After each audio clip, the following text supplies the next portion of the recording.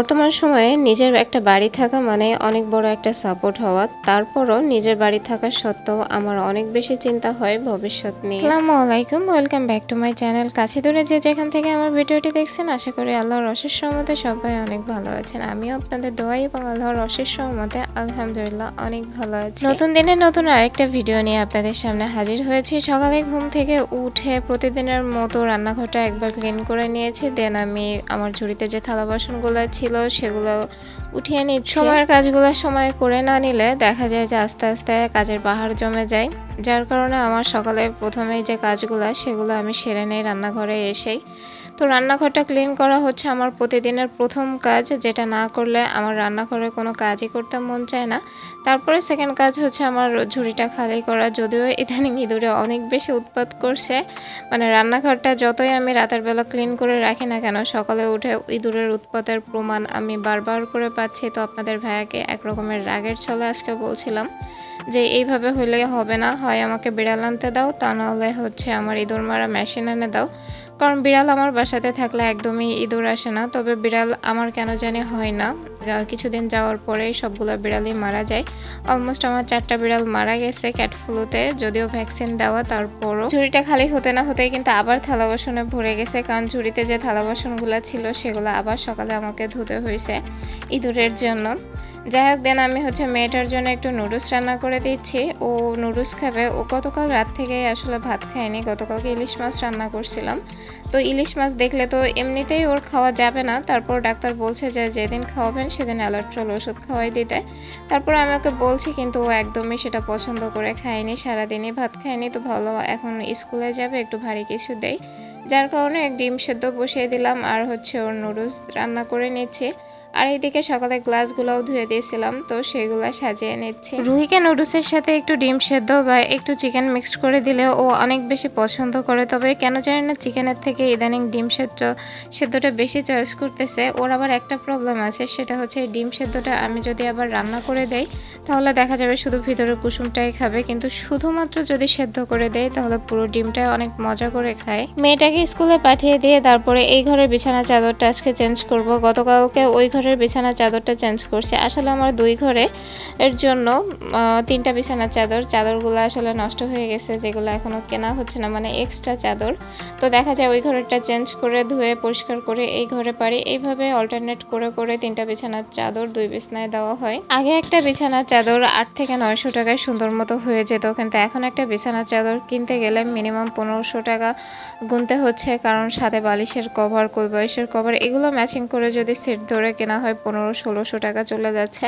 তো আসলে টাকার কথা চিন্তা করলে মনে হয় যে চলতেছে, চলতে থাকুক। এরকম একটা অবস্থা কঞ্জুসপানা তখন নিজের ভেতরে উকি দেয়। উপরালার কাছে লাখ লাখ শুক্রিয়া। উপরালা আমাকে একটা মাথা গোজার ঠাই করে দিয়েছে। নিজের বলতে একটা বাড়ি রেখে দিয়েছে। অনেকের দেখা যায় সংসার জীবনে পনেরো, ষোলো বছর চলে যায় বা ছেলে মেয়েরা অনেক বড় হয়ে যাওয়ার সত্ত্বেও কিন্তু নিজের একটা বাড়ি হয় না।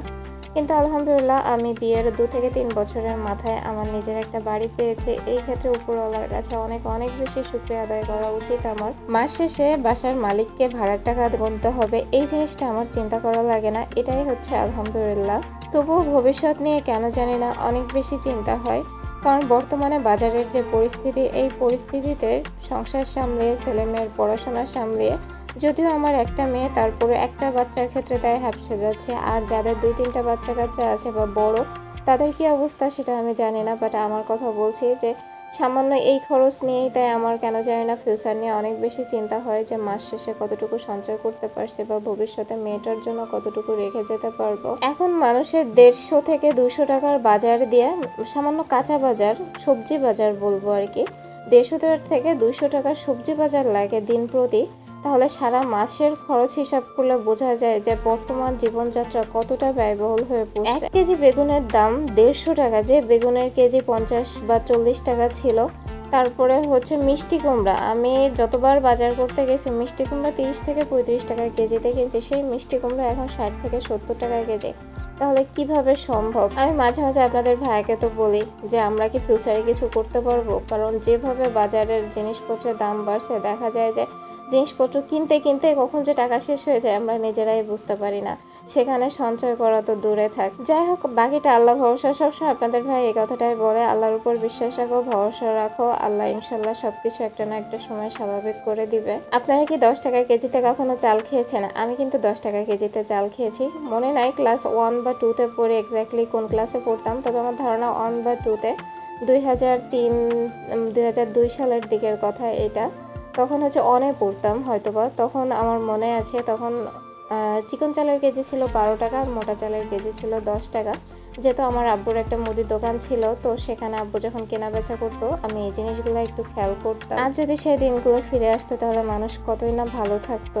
দুপুরের সমস্ত কাজকর্ম শেষ, রান্নাবান্না শেষ করে বিকালে চলে আসছে আর বিকালে বাইরে এসে যখন সূর্যটা একদম ডুবে যাবে যাবে ভাব, তখন বাইরের যে সিনারিটা সেটা অনেক বেশি ভালো লাগছিল। মানে এক কথায় যেটাকে বলে পরন্ত বিকালবেলা। আর বক বক করতে করতে আমি কিন্তু দুপুরে যে রান্নাটা করছি সেটার কথা বলতেই ভুলে গেছি। আজকে দুপুরে তো দেখতেই পেয়েছেন, তারপর একবার মুখে বলে দেয় সেটা হচ্ছে আলু, সয়াবিন, বিটি দিয়ে ডিম রান্না। অনেকে আসলে এই রান্নাটা খেতে পারে না বা তাদের কাছে ভালো লাগে না, তবে এই রান্নাটা এমন একটা রান্না যেটা একটু ভালো মতো করতে পারলেই কিন্তু অনেক বেশি মজার বিকালে মূলত আমি বাইরে আসছিলাম কাপড় চোপড়গুলো তুলতে, তো তুলতে এসে পরন্ত বিকালে সূর্যের ডুবে যাওয়াটা দেখে অনেক বেশি ভালো লাগল, তাই কিছুটা সময় ভিডিও করে হাঁটাহাঁটি করে দেন কাপড় চোপড়গুলো উঠাই নিয়েছি। আর বেশি সময় বাইরে থাকলাম না, যেহেতু এখন ডেঙ্গুর সময়, আর ডেঙ্গু নাকি সকাল আর সন্ধ্যা এই দুই বেলাতে বেশি বাইরে না হঠাৎ করে মাগরিবের নামাজ পড়ে উঠে কেন জানি না ভীষণ ফুচকা খেতে মন চাচ্ছিল তো আপনাদের ভাইকে বললাম, চলো তিনজনে মিলে একটু ফুচকা খেয়ে আসি। তো কি বলব, আমরা যে দোকানটা থেকে ফুচকা খাই, সেই দোকানওয়ালা দোকানটা অফ করে দিয়েছে মানে একদমই সে ব্যবসা উঠায় নিছে।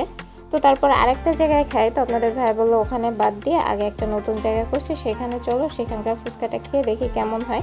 কারণ এটা হচ্ছে আমাদের বাসার কাছেই। তো ফুচকাটা খেতে আসার পরে কি বলব মানে পরিবেশটাও একদমই ভালো লাগেনি, আর তারপরে হচ্ছে ফুচ, খাবারের মানটা বলতে হয় না, খাবার খারাপ। তারপর বলি মানে খুবই বাজে ছিল আমার আমার খাওয়া ফুচকার ভিতরে সব থেকে খারাপ ফুচকা ছিল এটা। যাক, আমি খেতে পারিনি, আপনাদের ভাই আমাদের তিনজনের জন্য তিন প্লেট নিয়েছিল অ্যাট লাস্ট তাকে একাই এই তিন প্লেট খেতে হয়েছে। আর তারপরে এই যে কিছু পেঁয়াজি আর মাংসের চপ অর্ডার করছিল, সেটার কথাও আর না বলি, কারণ একটার কথা তো বলছি। মাংসের টিকিয়া তার মধ্যে এক পিস ছোটো করে এক পিস হচ্ছে একটা চিকেনের টুকরো দিয়ে রাখছে তাই ছাড়া আর কিছুই না। আমি বা আমার রুহিমণিকে বাইরে নিয়ে আসলে দেখা যায় বেশিরভাগ সময়ই আমরা ফুচকা বা হচ্ছে মুড়ি মাখা চটপটি এগুলা খাই। কারণ রেস্টুরেন্টের যে খাবারগুলা, সেগুলা বেশিরভাগ সময় আমার বাসাতেই তৈরি করা হয়। যেহেতু আমি ফুড বিজনেস করি, তো আপনাদের ভাই একদমই চায় না যে জিনিসগুলো আমি বাসায় করতে পারি বা করা হয় সেই জিনিসগুলো বাইরে কিনে খাওয়ার ক্ষেত্রে। তো যাই হোক, ফুচকার কথা তো বলেই দিলাম, এই হচ্ছে আমাদের আজকের বাইরে এসে খাওয়ার অভিজ্ঞতা। আজকের ভিডিওটা এই পর্যন্ত। আমার ভিডিওটা আপনাদের কাছে কেমন লাগে অবশ্যই কমেন্ট বক্সে জানাবেন। সবাই ভালো থাকবেন, সুস্থ থাকবেন। আল্লাহ হাফেজ।